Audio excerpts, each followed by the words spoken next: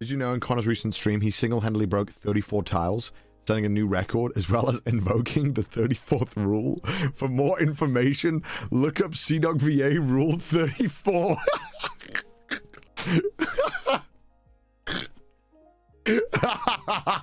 that's so good.